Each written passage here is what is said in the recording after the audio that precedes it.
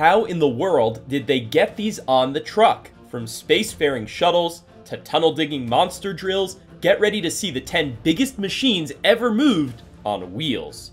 Number 10, Muon Electromagnet.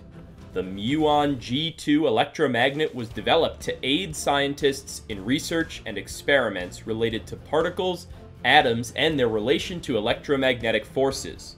And guess how big this weird sciency thing is? It's a massive 50 feet in diameter and weighs a whopping 700 tons. Because of its watch-like appearance, many people call it the 700-ton Swiss watch.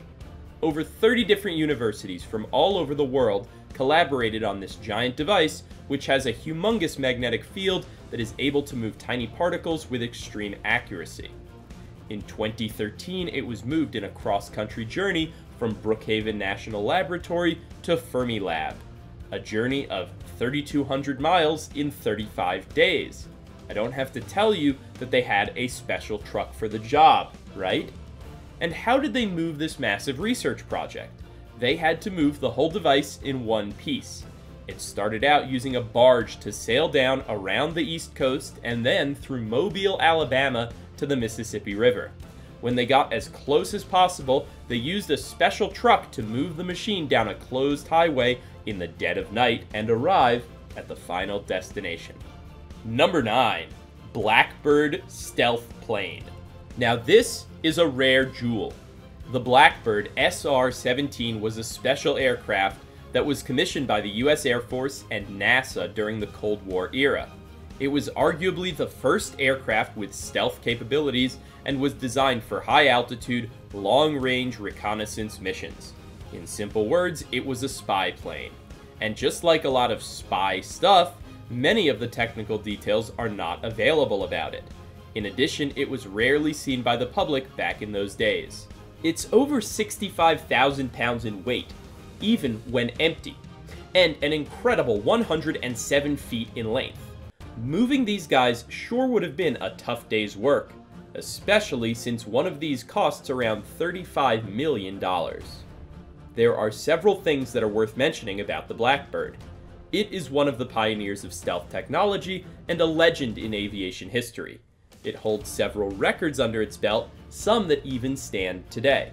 Throughout its operational period, from 1966 to 1998, it was the world's fastest and highest flying air-breathing operational manned aircraft. It also holds the record for the absolute high altitude of an aircraft. Can you guess how high that thing flew? 85,000 feet in altitude. That's almost in outer space. Crazy, isn't it? Are there any other spy planes you know about? Do you think there are some out there that are even faster, but are still classified? What about the Space Force? Could it be a front for a new program to develop supersonic jet fighters? Let me know what you think. Go on, hit a comment down below. Then, be sure to subscribe so you don't miss anything. Number 8. Space Shuttle Endeavour. Here is perhaps the most valuable cargo transported on today's list. The Endeavour Space Shuttle. First used in 1992, the Space Shuttle used to carry out NASA's operations for two decades. Overall, it went to space 25 times and proved to be one of the most successful machines of humanity. It had a maximum speed of nearly 17,400 miles per hour, and its value? A jaw-dropping $200 billion. Yes, this might be one of the few things that Jeff Bezos still can't afford. And that's not all. Endeavour is a legend of our spacefaring civilization. It has become a part of the most memorable moments in our history. Back in 1993, the Hubble telescope, then in orbit, was in trouble. Some malfunctions in the telescope had made it almost useless. It was the Endeavour that flew out there and allowed the astronauts to repair the Hubble. If it weren't for that mission, the Hubble would no longer be functioning and it would have been a loss of billions of dollars. The next big thing is the International Space Station. If you know anything about space exploration, you must have heard of it, right? Endeavour played a huge part in the construction of that as well. It delivered the first components of ISS back in 1998, and it delivered the final big piece of the ISS as well in 2011, just before its retirement. It was a staggering 170,000 pounds in weight, and it was last transported on its 12 mile journey from Los Angeles International Airport to the California Science Center after it retired in 2012. After so many voyages out of this world, it's funny that the shuttle made its final trip on the back of a truck. I think I'd rather go to outer space, but a ride in an 18 wheeler sounds pretty exciting too. Number 7 Miracle on the Hudson.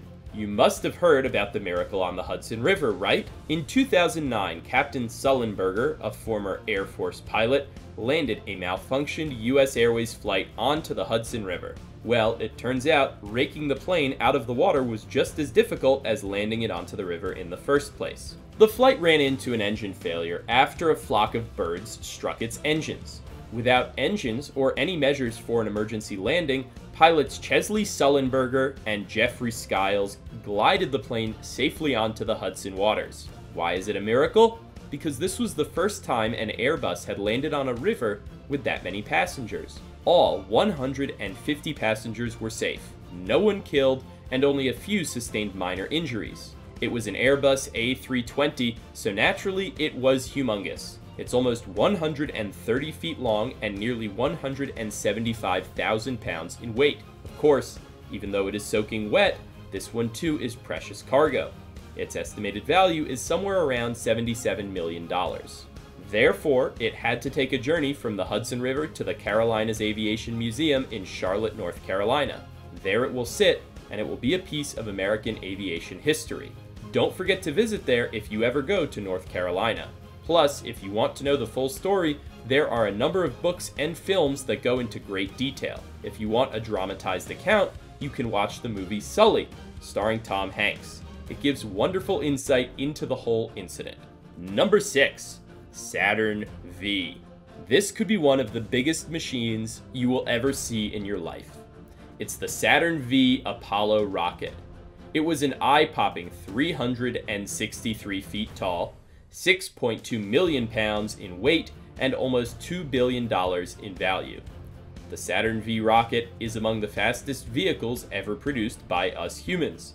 Its record speed was 6,164 miles per hour. That's almost 3 kilometers per second. Now, imagine a 36 story building. Imagine you put 400 elephants inside of it, and that's how gargantuan this machine really is. You get the picture, right? Could you imagine that something this big could go that fast? Now picture this. It was transported from its building site to the launch pad in Cape Kennedy in 1967, and the trucks they used to move it were almost completely overwhelmed. Here's one more fun fact. When the Saturn V is fully operational, the rocket is 60 feet taller than the Statue of Liberty. Incredible, isn't it? Number 5. Tunnel Driller. Digging tunnels underground sure is a lot of heavy-duty work, and so is the machinery that goes with it. These heavy-duty caterpillars are designed to bore and tear a hole through anything that comes ahead of them. Rock, sand, rubble, you name it and such an endeavor sure needs a lot of power and a whole lot of very heavy tools. A typical tunnel digging machine can have a diameter of 25 feet and can weigh an astounding 1100 plus tons. And that's not the end of it, they can get as long as 380 feet. These big guys cannot be moved in a single trip and require careful disassembly of parts, slow and steady transportation, and reassembly on the construction site. Of course, that is easier said than done. This particular heavy tunnel digging machine was moved to a construction site in Ostfildern, Scharnhausen, Germany in 2013. Did you know? Apparently, tunnel digging machine operators are among the highest paid construction workers in the world. Plus, they get to drive these massive beasts. Sounds like a cool gig to me. Number 4. Heat Transfer Reactor. As the name suggests, these machines are another super heavy entry in the world of oversized science experiments. All in all, General Electric designed them for the US Air Force back during the Cold War era to experiment on aircraft nuclear propulsion.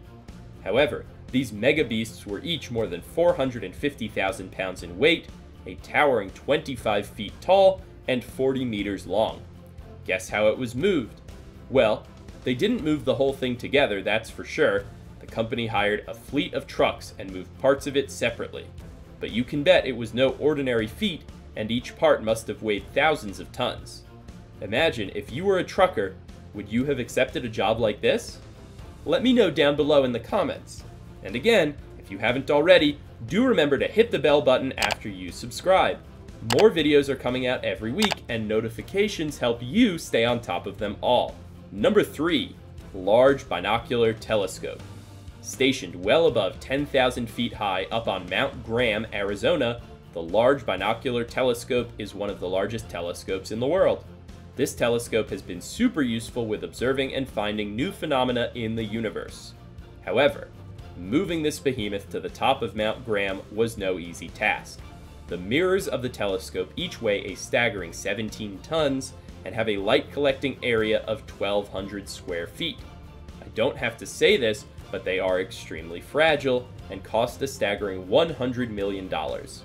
Today, the observatory is fully operational and you can actually pay a visit and take a look at our universe like never before. If you like science and astronomy, this place is sure to have some magical moments in store for you. Number 2. Massive MRI Magnet Magnetic resonance imaging is a modern medical technology that is useful to create visual images of the interior of human bodies. Chances are you might have had an MRI scan at least once in your life especially if you have ever had a broken arm or ankle. MRI equipment and the components are very expensive and take a huge amount of time to build and assemble, especially because of the intricacies and complexity in their design. When transporting them, there is absolutely no room for error. As it turns out, the MRIs used in medical research facilities are way bigger than the ones in hospitals, Pictured here is the delivery of one of the largest MRI magnets to the Portland hospital. Moving these magnets sure must have put the truckers through a lot of stress, since the slightest bump can cause millions of dollars of irreparable damage. Number 1. Supermassive oil rigs.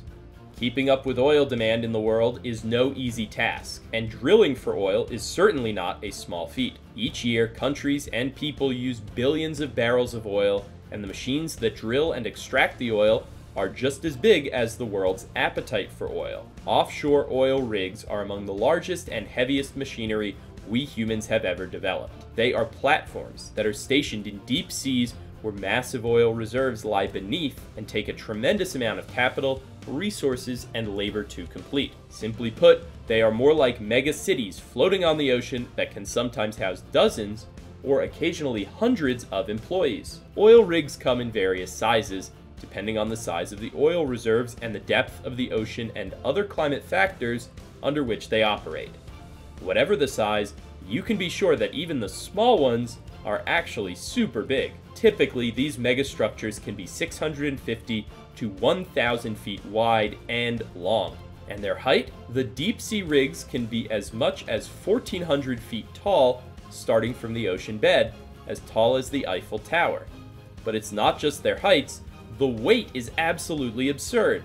It can range from 20,000 tons to even 170,000 tons in the biggest ones. Pictured here is the transportation of some parts of a massive offshore oil rig.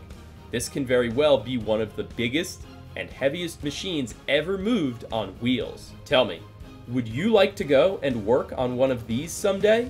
It would be like living in a futuristic city now, wouldn't it? And that is it for today, folks. I hope you enjoyed what you saw in the video. Subscribe, get ready, and stay alert. You'll know just as soon as another video just like this one gets released.